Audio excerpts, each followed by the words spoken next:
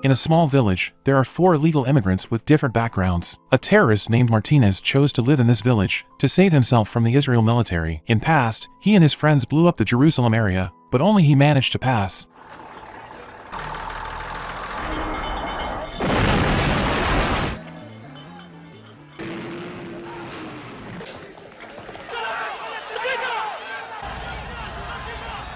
A former bank manager named Serrano who was forced to leave town after being accused of embezzling his company's money. A gangster named Dominguez who is forced to hide in this village because he is being hunted by a dangerous mafia. The incident began when he and his friends robbed a church to the death of a mafia brother. The last immigrant is a political elite assassin named Nilo. Different from life in the city, there they have to work hard to meet their daily needs, like Serrano who must feel the weight of life, just to get a piece of bread. Every day he went to work at the oil rig for very little pay. An even more sad situation was experienced by Martinez who had to lift a giant pipe. If he don't focus on doing his job, then his life can be lost.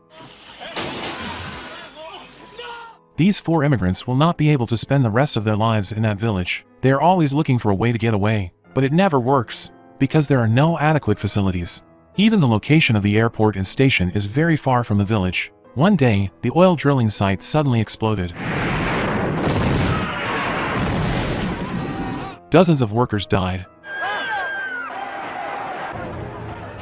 As a result of that incident, a military general named Corlett panicked. Because the fire from the explosion was not extinguished, if he didn't act soon, the villagers would be affected by the explosion. He then remembered the nitrogen that was lying dormant in the forest. He plans to use it to blow up the ground area around the oil rig, so that the ground will cover the explosion area, and the flames can be extinguished. Corlett immediately heads into the woods with an explosives expert to check the condition of the nitrogen that has been left in a damp place for a long time. Nitrogen, which was originally a powder, turns into a liquid. Liquid nitrogen is more explosive than powder nitrogen. Even if it was hit by the slightest vibration, the entire forest could be reduced to rubble. The nitrogen conditions prevented Corlett from removing all the nitrogen immediately, because the forest roads were very destroyed and very impossible for workers to pass. Because of that, he then held a competition for the people in the village who can deliver to the 6 nitrogen safely, then they will be awarded a $400,000 prize. The, the people then underwent a test driving a truck, including those four immigrants.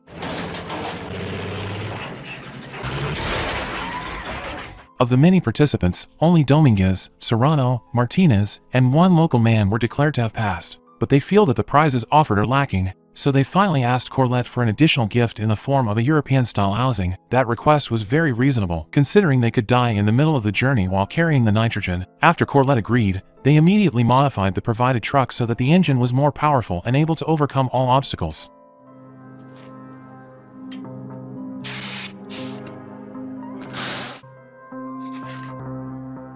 There Nilo felt that he had lost the only way he could return to the city, because he failed the test. After they finished modifying the truck, they started transferring all the nitrogen from the warehouse to the truck that had been filled with sand, to reduce shock when passing through rocky and slippery roads. The night before departure, Corlett came to collect the drivers. They were all presented with a promissory note regarding the delivery of the nitrogen and the promised mansion. The letter made they feel relieved because they already had guarantees, although most likely they could die on the way. Before leaving, Martinez saw Nilo watching them. He then had a bad feeling, plus the local man who did not come. And that's right, the local man is dead and the culprit is none other than Nilo. This made Martinez angry, so a fight broke out between them. Hearing the fight, Dominguez and Serrano then came to separate them. It turns out that the reason Nilo killed the local man was because he also wanted to take part in delivering nitrogen to get out of the village. He was annoyed that he didn't pass the test so he killed him. Having no other choice, finally Nilo was forced to be allowed to join. These four reliable drivers are divided into two groups, Dominguez with Nilo, and Serrano with Martinez. Time was short, the Dominguez truck had started its journey earlier,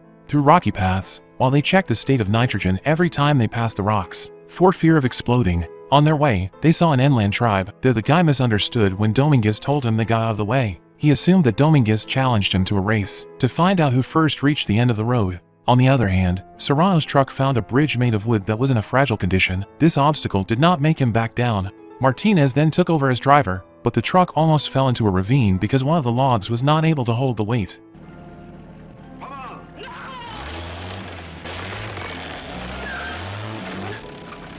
When passing through the forest, it rained and made the road muddy and slippery. Meanwhile, Dominguez doesn't know which path to choose, because the signpost is missing. Not long after, Serrano's truck also arrived. There the two of them debate between following the directions on the map Corlett gave them, or taking another route. Finally they agreed to follow the direction of the map, and it turned out to be a big mistake. Dominguez's truck got stuck at the end of the rocking bridge. Nilo, seeing that the situation was getting worse, immediately wanted to run away and abandon Dominguez, but the attempt failed. Finally they were forced to use the bridge. Because the previous track was muddy, it was not possible to turn around. They then started to cross the bridge. Nilo was forced to direct Dominguez's truck so that it would not be carried away by the river current.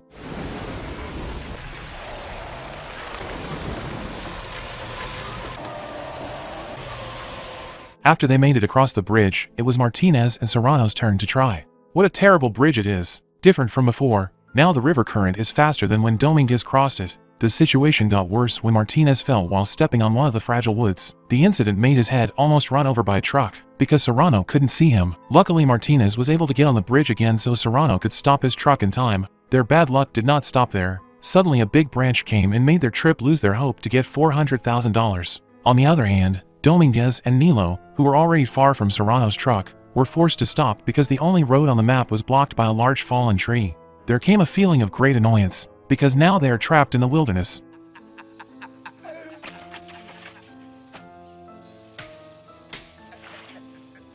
Dominguez, who did not want to give up, then took a machete to cut down the tree branch. He told Nilo to stop laughing and asked him to come help him. Short of time, Martinez and Serrano finally caught up, with many wounds. It turns out they survived the bridge by using a crane. Martinez, who saw that the road was blocked by a large tree, immediately checked the tree. It turns out that with his experience as a former terrorist, he has a way to get rid of the tree. He planned to use the nitrogen they brought with him to blow up the tree. To do that, they all have to work together, make a manual explosion lighter tool, then they have to find stones to be used as ballast. The stone will be dropped on nitrogen. When preparations were complete, Martinez began calculating the distance between the explosion and the time it took them to escape. After being weighed, it turned out that the stone they chose was too heavy. Therefore Martinez immediately looked for an empty bag to hold the heavy rock. But he did not find a size large enough. When he saw Nilo, he then asked him to remove his trouser pockets. Martinez immediately tore it to put sand. Now everything is ready. They then transferred one of the nitrogens to the tree. After that, they backed the truck as far as possible to avoid the explosion. When they were in a safe position, Martinez immediately tore open the bag and immediately ran away.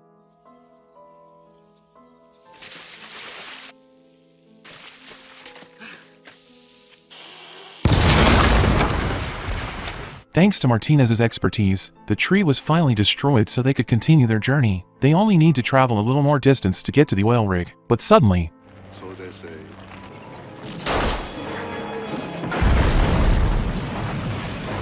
A puff of smoke from the explosion was seen by Dominguez and Nilo. They are becoming more and more careful, because they don't want that to happen to them. Not long after, a group of bandits appeared to block them while pointing their guns at them, because he wanted the stuff that was in the truck. Dominguez could not let them have their way, but he could only surrender if the gun was pointed at him. At that point, Nilo pretended to cough so he wouldn't be let out of the truck. When the bandits unloaded the truck, they were shocked to see the nitrogen inside. Nilo used that opportunity to shoot the bandits, but the bandits shot him. Dominguez then immediately helped him to get into the truck, but so poor, Nilo could not survive. He died. Long story short, Dominguez continued his journey carrying nitrogen by walking, because the truck has run out of gas. With difficulty he walked for dozens of kilometers, until finally he arrived at the oil drilling site. The nitrogen that he brought was immediately given to the soldiers who were stationed there. Finally the flames were extinguished and Corlett kept his promise to Dominguez. He was presented with a passport gift for his departure to Paris. Because he was the only survivor, all of his friends' money was given to him. But when the last seconds of his departure, he changed his mind. He who was too comfortable with local wisdom, then decided to stay in the village with his beloved. But at the same time, two assassins hired by the mafia came to the village to kill him.